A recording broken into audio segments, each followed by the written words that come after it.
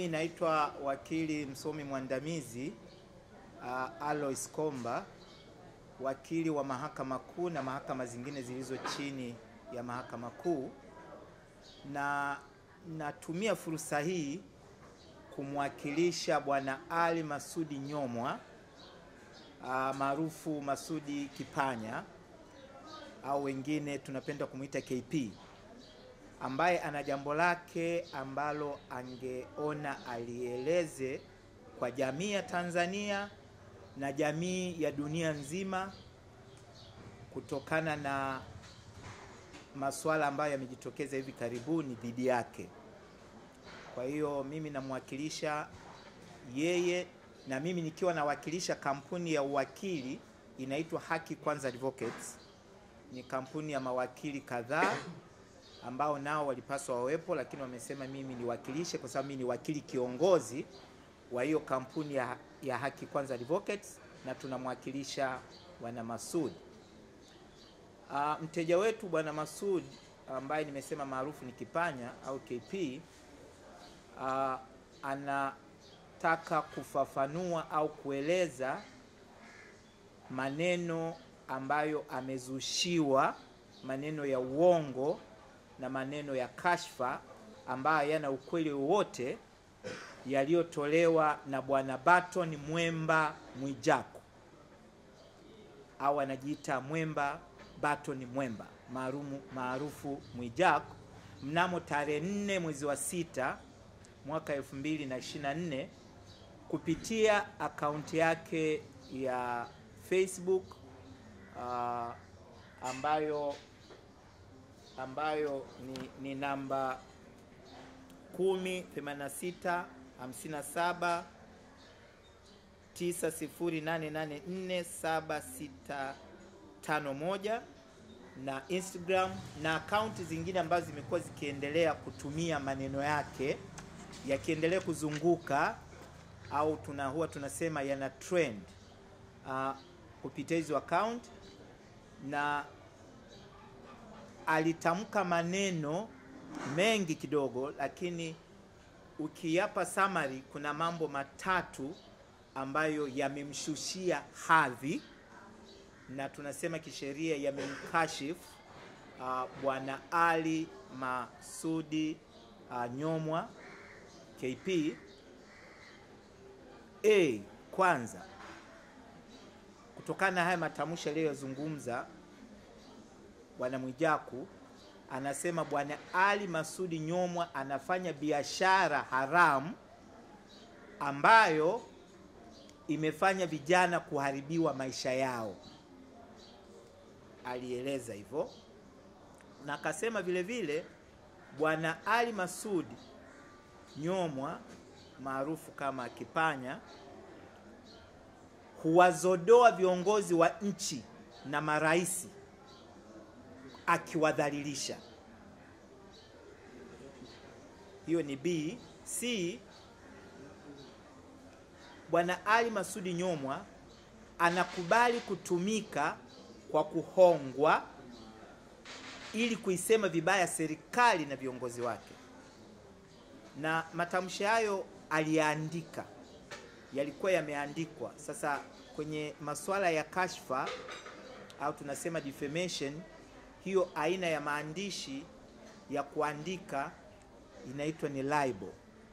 Vile vile akizungumza kwa mdomo ingekuwa slander. Sasa libel ni very serious, tunasema inabaki kwa muda mrefu na watu wanaendelea kusoma. Kwa hiyo ilikuwa kwenye account na aliyazungumza hayo maneno na akayaandika. Sasa tunasema kwamba maneno haya ya uongo, yani ni untrue au kisheria tunasema ni false statement, lakini vile vile yana nia of, ni malicious statement, yana malice, yana nia of, lakini vile vile ni fabricated. Fabricated ni kwamba mtu ameyatengeneza tu. Mpaka leo tunavyozungumza, hakuna ushahidi kuhusu hiyo biashara haramu ambayo imeharibu vijana wengi na kwa Watanzania wengi ukizungumza hivyo huwa tayari wanapata picha ya biashara za aina fulani ambazo ni haramu na ambazo vivyo ni kinyume cha sheria, na vile vile tuhuma kwamba amekuwa akiwazodoa viongozi wa nchi na marais. Yaani unazungumzia marais tangu naamini Masudi akuwepo sana, rais wa awamu ya kwanza Mwalimu Julius Kambarage Nyerere, awamu ya Mwinyi, unakuja awamu ya Mkapa, yaani na kipindi kichote hao wanawazodoa na yeye yupo. Kwa hiyo tunasema nayo hiyo haijathibitika mpaka leo, hakuna ushahidi wowote. Kwa hiyo bado inathibitika ni maneno ya uongo, ni ya kumvunjia heshima na hadhi yake Masud ambayo ameijenga kwa zaidi ya miaka 30. Kwenye miaka 35 amejenga kutokana na shughuli zake za uchoraji katuni, shughuli zake za jamii na kuhusishwa katika taasisi mbalimbali za kitaifa na kimataifa. Amevunjiwa heshima, na swala la kuhongwa nalo ni very serious, kwamba kazi zake anazofanya anatumwa na watu, anahongwa ili tu aiseme vibaya serikali na viongozi wake, wakati na, wakati huyo huyo Ali Masudi Kipanya anapewa kazi nyingi na taasisi za umma zikiwemo serikali. Kwa hiyo hilo analisema mtu ambaye amekuwa kwenye taasisi moja, wamefanya kazi pamoja. Mtu yote anaweza akasema akaamini kwamba Mwijaku analosema ni sahihi, hata kama lina uthibitisho. Kwa hiyo tunasema kwamba maneno haya ambayo yalichapishwa yanaendelea kuzunguka au kutrendi mitan, mitandaoni kwa jamii ya Watanzania na nje ya mipaka ya Tanzania na ulimwengu mzima, hivi kumshushia hadhi mteja wetu Bwana Masudi. Hivyo mnamo tarehe saba mwezi wa sita 2024 mteja wetu alitujia akatupa maelekezo tumwandikie barua ya madai au notice ya madai, wanasheria wanaita demand letter au demand notice. Waingereza wanapenda ku, ku, ku, kurahisisha kidogo, kusio na maneno ya kisheria sana, wanaita tu claim letter, letter of claim against mtu fulani. Tu, tumwandikie barua kuanzia hiyo tarehe na ambayo tuliandika, tumpe siku tatu afanye yafuatayo, kwamba Masud alielekeza tumwandikie Mwijaku hiyo barua na tumpe siku tatu afanye yafuatayo: moja, akubali kwamba amesema uongo akiwa na nia ovu kwa mteja wetu; mbili, aombe radhi kwa maandishi kupitia mitandao aliyoitumia na njia zote alizotumia. Na watu wengine ambao wamekuwa wakiendelea kusambaza na kucomment comment, apite huko kote akiwa anaomba radhi aliyotumia kueneza kashfa hiyo. Na tatu, aseme amemkosea Bwana Masud na jamii ya Watanzania, kwa sababu ikithibitika ni uongo, ni udanganyifu, umeidanganya jamii ya Watanzania na dunia nzima, na ni jamii ya Tanzania hiyo hiyo ambayo ina taasisi mbalimbali ikiwemo serikali aliyoisema yeye au vyombo vya dola, na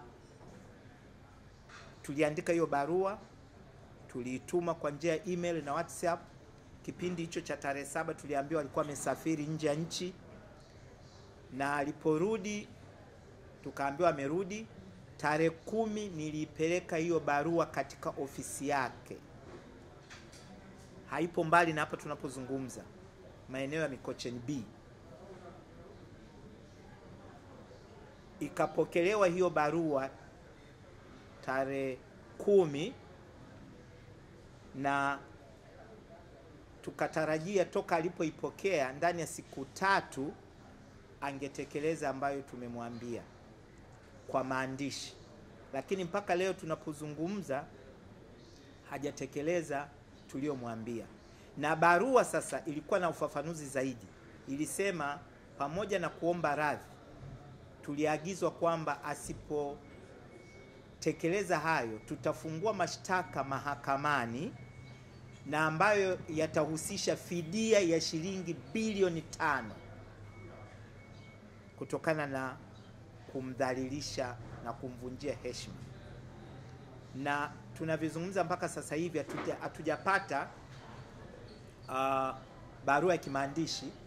Zaidi ya juzi nilipigiwa simu na na huyu aliyejitambulisha kwamba yeye ni Barton Mwemba Mwijaku akiniambia kwamba anafanya mawasiliano na mteja wangu, lakini amekuwa hajajibiwa, lakini alikuwa na malengo ya kuomba radhi kupitia press na kwamba angeifanya hiyo press jana. Nikamwambia radhi utakayoyomba kumbuka unapaswa utoe ufafanuzi wa masuala ya biashara haramu na ueleze kama ni kweli au si kweli, na kama si kweli useme nimesema uongo aeleze kuhusu ma, a, Ali Masud kuhongwa ili wachafue watu, kama kweli anachafua watu, kwa sababu kama ni katuni zake zinatumika kwenye media za heshima na zinaenda ipasavyo. Vile vile aeleze jinsi ambavyo anadhalilisha viongozi, aseme hilo. Lakini nilimwomba, tunaomba kabla hujazungumza na press, tuletee barua ya majibu ya ile ambayo sisi tumekuandikia. Akaniambia tu bwana wakili, mimi nitajua namna gani nitajieleza, ila tu ninachosema kwamba mimi nimekosea, na kwanza inaonekana sasa unataka mimi nifungwe jela. Nikamwambia wala tuzungumzie mambo ya kufungwa jela, wewe unajiamini ulioyasema na upo sahihi. Tukifika mahakamani utatoa ushahidi, lakini tutasema kwamba mpaka sasa hivi umemdhalilisha mteja wetu na umemvunjia heshima. Kama nilivyokuambia, nilimwomba kabla ya press atujibu kwanza barua yetu, hakufanya, na nikamwambia basi hata hiyo press yako itakuwa ni vizuri kama ikijibu barua yetu na ukatoa ukatoa maelezo kwa hayo uliyoyasema, yaani usiombe radhi tu, ila sema kweli niliyoyasema yote ni ya uongo na ni uzushi wa hali ya juu dhidi ya Ali Masudi. Sasa sijui mliona hizo na mkifuatilia hiyo, kama sijui kama alisema hivyo, lakini vile vile tuliomba kama alizungumza, basi angeeleza kuhusiana na swala hilo la kuhonga uh, viongozi wa serikali na hasa anapogusa taasisi au muhimili wa utawala ambao ni muhimili wa rais wenye mamlaka kubwa sana ambayo mimi natarajia hata mteja wangu leo angekuwa ameshashikiliwa mahali au amefichwa kwa kuhojiwa na pengine hata vyombo vya ulinzi na usalama. Sijui kama alisema hilo, na na baadaye nimemfuatilia huyu anaitwa Mwijaku, nikagundua ni mtu anayependa kutumia hizo hizo press conference anazoweza akajitia naomba radhi, lakini na yeye kujijengea mwenyewe.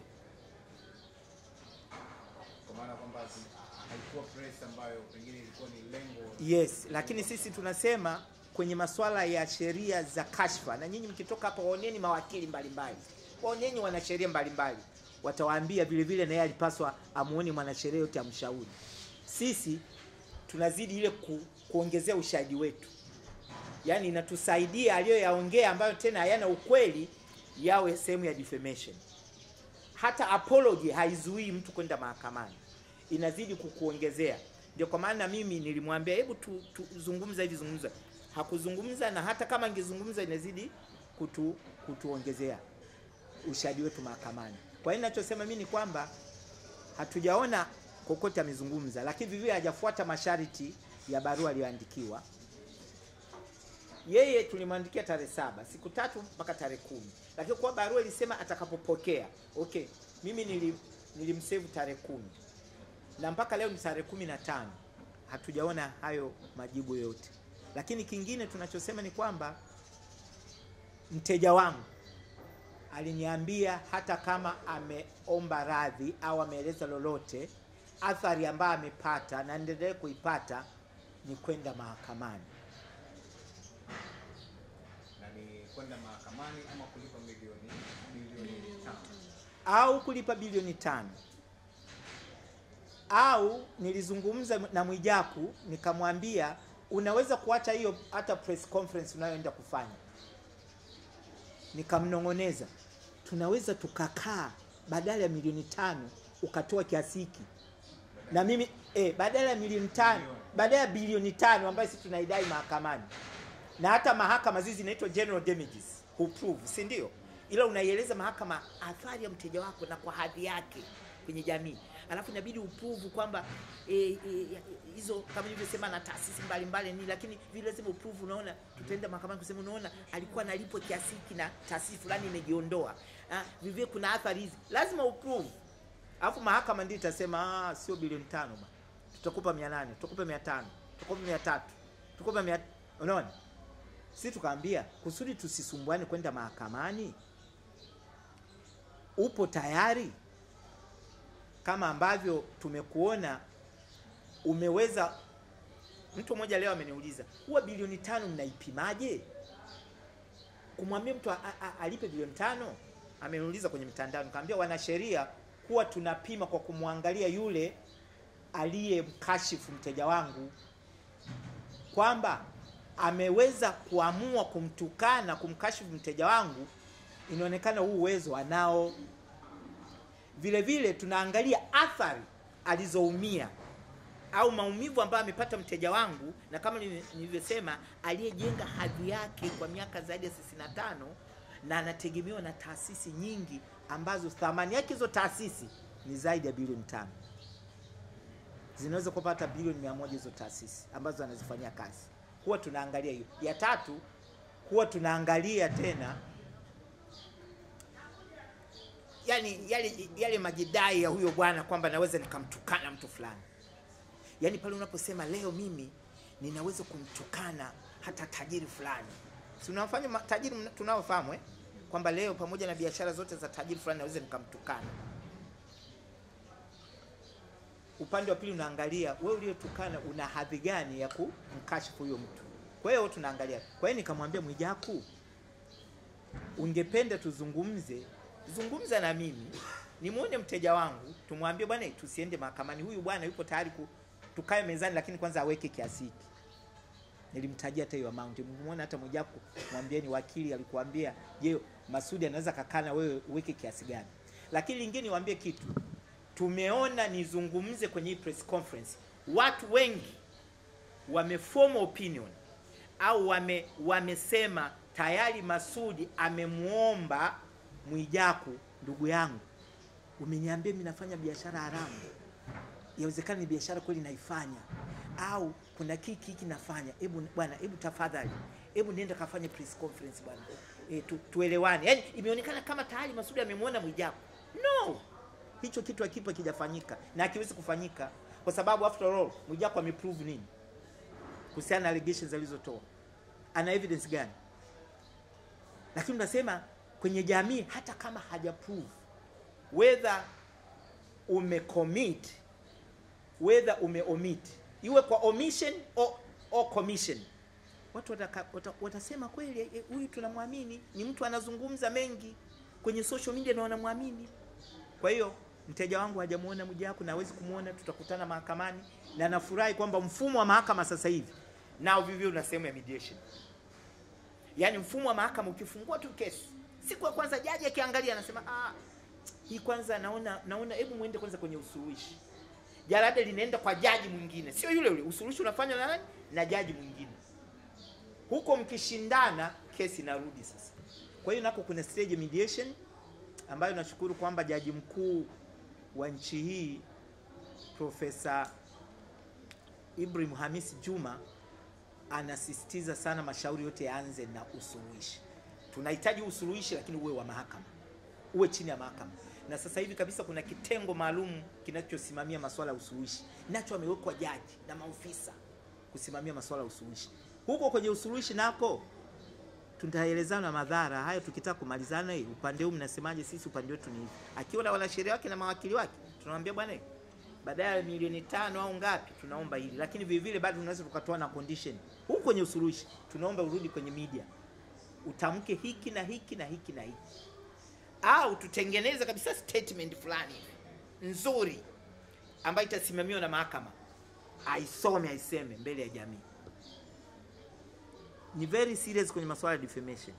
Kumkashifu mtu ni ni ni hatari sana, na gharama ambazo hata Ali Masudi Kipanya anazipata sasa hivi ni kubwa kuliko bwana Mwijaku. Yeye anazungumza simple tu,